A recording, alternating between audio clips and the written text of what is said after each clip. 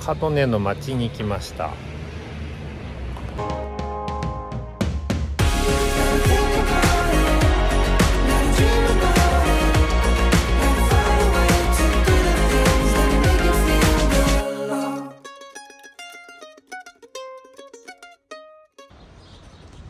この辺のさ、はい。裏の村？基調はうん。家が家のこのドアの色が、うん。こういうクリームなんてミントグリーンとかこれの可愛いよね。ちょっと優しいブルーとか、へー。ピンクとか本こ当だ。ういう感じなのどこ行っても。わあこっちからの景色がすごい綺麗。こういう色大好き。この色の選択面白いな。こういう建物作りたい。建物。この街をイメージした缶がやってきた。今日さあこっちの道も楽しそね日だからさうん。少なくていい、そうだね。お店どこもやってないから日曜日は何してんのみんな？お家にいんのか？お家でご飯の匂いした後ろから缶がずっとついてくる。こっちにも行ってみたいなこういうといろいろ歩いてみよう。今日はまあお店はやってないけどうんまあいいよねうんだから人がいなくてのんびりあああの水飲み場もいいねああいうとこうん。いい。ねいい今日今からはいランチ、これからランチでもまずしましょうか。なんかのんびりしてるね。好きだなこういうのんびり。人もいないし。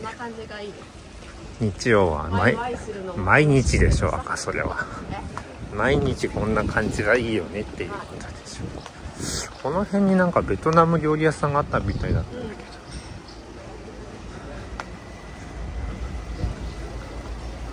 あ見てこの風かわいいねピンク色ど本当だ天気もいいですよなんかこうあこれ何あなんかか絵描いてる。アトリエなんだな。おお素敵あなんか月の絵が素敵へー。いいね。月と木って若いいね。木わかんない大好き。やってたらよかったけどな。うん。でもまたさ近いから来れる。家から12分だったよ。だってそこまでのドライブも気持ちよかった、うん。あれこの辺って書いてたんだけどな。レストラン。ああこの車いいねこれね。すごい。乗ってみたいね。ここかなもしかしてじいさん乗って見て見ておじいさん乗ってるかっこいい。かっこいい。おお車動く。えー、かわいい。ええー、ほんと映画みたいな世界だねこれ。でもね乗ってるおじいさんも映画みたいになってるあこれはマニュアルだな完璧。何やるほんとかわいい。うわこの街似合うね。ほんとだ。ここかな？よしちょちょっとご飯行ってきます。何してんのそこで？頭って。日向ぼっこしてんの？そうそう。あ来たよ。あーメッシーメッシ食べようかな。ーエビのフリット来ました。こう来ました。美味しそう。赤のは牛肉。うんいただきます。どうしたの？このスープが辛くしたの。あこれでね？うん。うん。してスープが目に入って。いてててててどうしようこれ？じっと味わってれば流れていくよ痛みは。で目洗うか。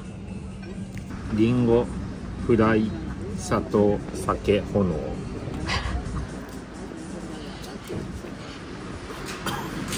それどういうリアクション？お酒が。強い。アルコールが飲んでなく。お酒のいやだいぶ強そうなお酒だ。だってね今こうやって撮ってると後ろにお花があってうん。街並みとかこの感じはもう完全南仏プロバンスなんだけど食べてるのはなんかベトナムの強いお酒のデザートっていうのが面白い。それはちょっとなかなか難しいデザートだったな。そうなの？うん。お酒の味が難しいってこと？そう。